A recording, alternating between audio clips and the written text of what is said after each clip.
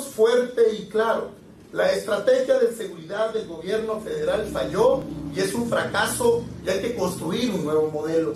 Cualquier evaluación o diagnóstico serio, objetivo sobre el tema, lo comprueba. Y es claro que la gente en las calles nos está reclamando que haya seguridad, que quieren paz para sus familias, que no pueden caminar, que no pueden ir los hijos con seguridad a las escuelas y que hay un ambiente de zozobra en las familias mexicanas.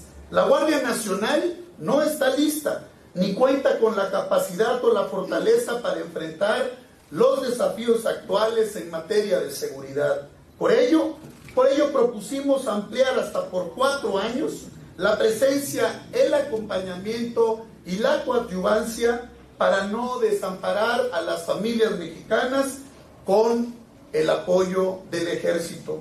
No podemos saltar al vacío, no podemos dar pasos en falso, no le podemos regatear al pueblo de México la seguridad que les aporta la presencia del ejército en sus ciudades, en sus comunidades y en todos los rincones de este país. Hacer eso significaría despojarles de la frágil tranquilidad con la que viven muchas veces al acecho de los delincuentes. Por ello, por ello respaldamos la iniciativa de la diputada Yolanda de la Torre.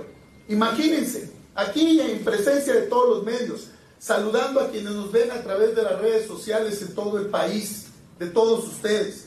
Imagínense si devolvemos 80 mil militares a los cuarteles y dejáramos solo a 23 mil guardias civiles en servicio. Necesitamos la coadyuvancia de las Fuerzas Armadas.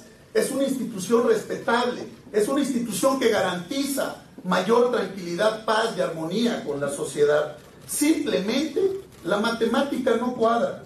Las fuerzas de seguridad no tendrían la capacidad suficiente para hacer frente a la inseguridad.